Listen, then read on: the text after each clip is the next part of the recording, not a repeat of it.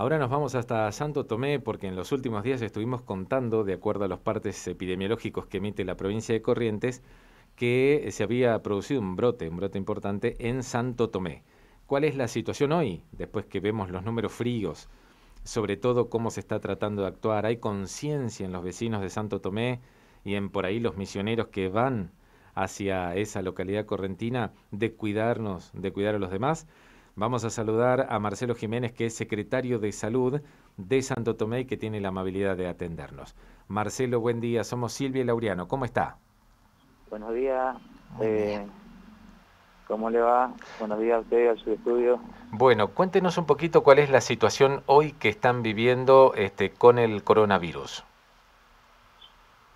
Bueno, nosotros estamos en, fase 3 este, con casos, eh, con muchos casos, eh, récord de casos con 277, ayer al, al mediodía, lo de la tarde se siguió sopando, que ahora estoy mirando los números, estaba en eso, y eh,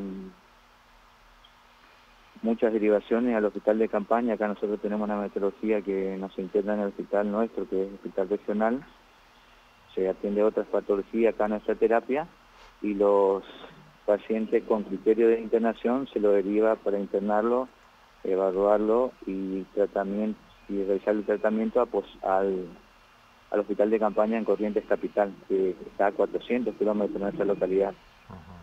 Así que ayer tuvimos este, varias derivaciones, eh, seis, este, cerramos hasta el mediodía seis derivaciones, que es mucho para nuestro, nuestra localidad, en el transcurso de la tarde se derivaron un par más y anoche lamentablemente tenemos una mala noticia de un deceso por COVID en nuestra localidad que, que, que llegó al, al hospital, digamos, con, con eh, un mal estado general y eh, falleció.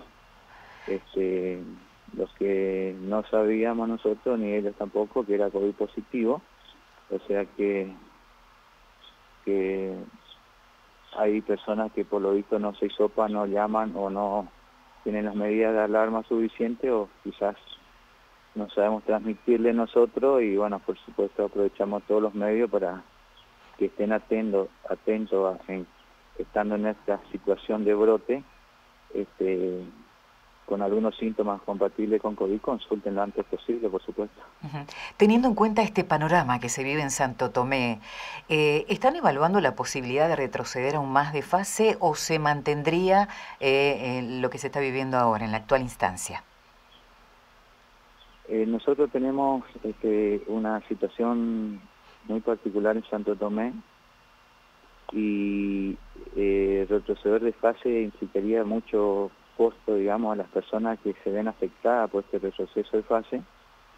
Entonces eh, se está evaluando el día a día para ver cómo consensuamos y, podemos trabajar nosotros bien con toda la población, digamos, que necesita trabajar, que se realice efectivamente todas las medidas de prevención en los lugares de trabajo y que nos faciliten lo más antes posible sus datos de, las personas, por ejemplo, que van a algún comercio, porque ahora lo que se ven afectados son varios rubros, ¿no es cierto?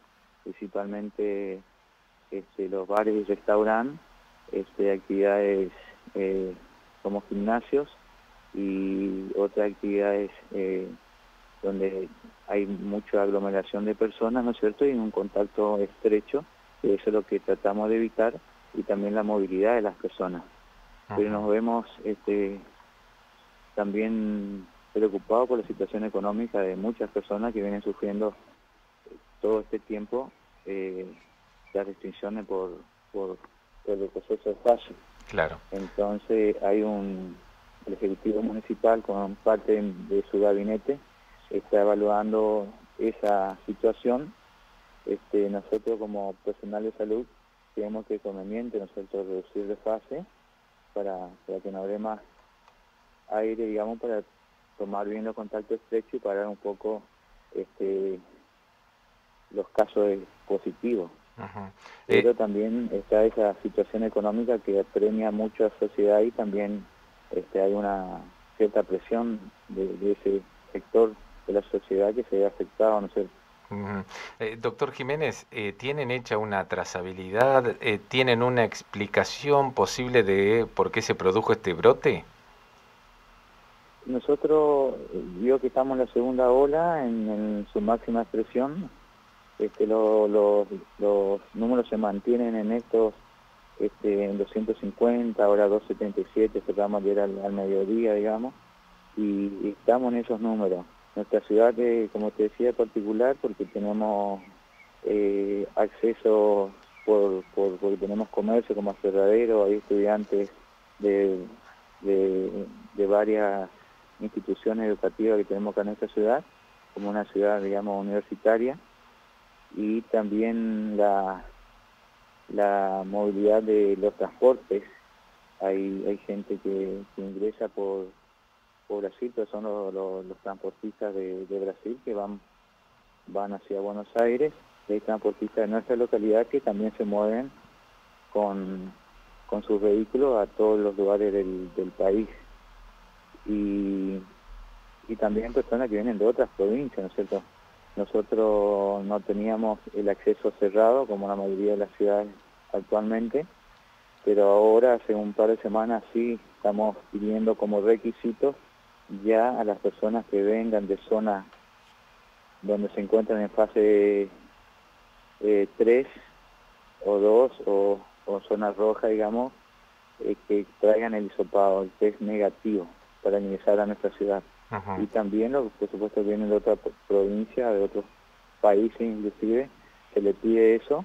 Y tenemos también personas que son de nuestra ciudad que se van por cuestiones laborales a otros lugares de fuera de la provincia, al regresar este, se, realiza el, la notificación de aislamiento, sería la cuarentena, la cuarentena para frenar un poco este, esta situación. En ese, así estamos trabajando actualmente. Bien, eh, un misionero, porque tenemos mucho contacto no solo de estudiantes, como usted bien lo dice, porque ahí está la Facultad de Medicina, eh, en el caso de transportistas, en el caso de comerciantes, misioneros que quieran ir a Santo Tomé. ¿Sí o sí PCR negativo? Hizo, un test hisopado negativo, por lo menos. No es necesario que sea PCR. Nosotros habíamos publicado PCR negativo, pero a veces cuesta, se demora 48 horas para que lo realicen en, en cualquier lugar y nosotros por, lo menos pedimos un test rápido negativo que esté bien certificado, ¿no? Que sea con mínimo de 48 horas de, antelación. E, ese sí es el requisito, no hay que hacer cuarentena para un misionero que va a Santo Tomé. Un misionero, bueno, depende de que venga a ser misionero por acá. Tenemos otros casos de estudiantes que vienen a hacer un trámite, ingresa, este, mira su departamento porque la actividad en la Facultad de Barceló puntualmente es, todo por Zoom, salvo los chicos del último año que necesitan realizar práctica, que para ellos ya hay un protocolo diferente. Lo demás se realiza todo por Zoom, entonces hay muchas situaciones que ingresan alumnos de otros años, este, vienen a ver su departamento, pagar sus cuotas, sus alquileres y hacer algunos trámites y vuelven en el día, eso ingresan, le dejamos registrado y vuelven en el día, no hay problema.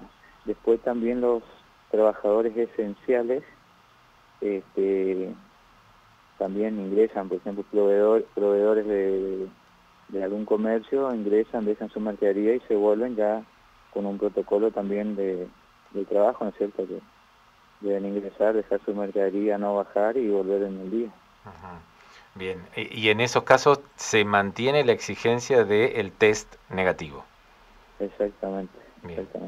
Volviendo a lo que usted comentaba acerca de la situación epidemiológica allí, ¿cómo se encuentra el sistema de salud y en cuanto específicamente a la ocupación de camas?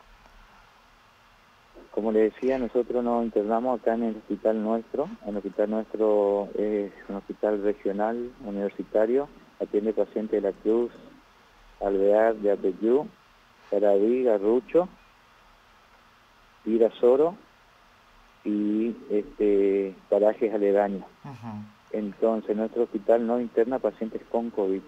tenemos los pacientes que se internan en nuestro hospital, que son, bueno, lo de cualquier hospital de, esta característica. Eh, en terapia seguramente habrá pacientes con algún ACV, algún accidente eh, cerebrovascular, eh, alguna insuficiencia cardíaca compensada, eh, algún postoperatorio, y no se puede mezclar con otro paciente de COVID en, el misma, en la misma terapia, tampoco en las salas de clínica o de cirugía. Entonces, por, por protocolo, nuestra ciudad no se interna, se deriva todo el hospital de campaña. Y el hospital de campaña sí se encuentra con una ocupación de camas ya eh, alta, no te sabría decir si el 80 o 90% de camas, pero con una este, con un número importante de camas ocupadas. Por lo que nos han solicitado sí que evaluemos y reevaluemos los pacientes, nos comuniquemos con ellos como se, realiza siempre, antes de derivar, para ver si tiene criterio de internación, así ellos nos reservan la cama y se deriva al paciente. Correcto. Doctor, gracias por habernos atendido en este momento donde tienen tanto trabajo este, y bueno, sobre todo para informar a los misioneros de cuáles son los requisitos a partir de ahora para ir a Santo Tomé. ¿eh? Muy amable. No, al contrario, gracias a ustedes y, y buenos días. Que esté muy bien, hasta pronto. El doctor Marcelo Jiménez es secretario de Salud Municipal de Santo Tomé.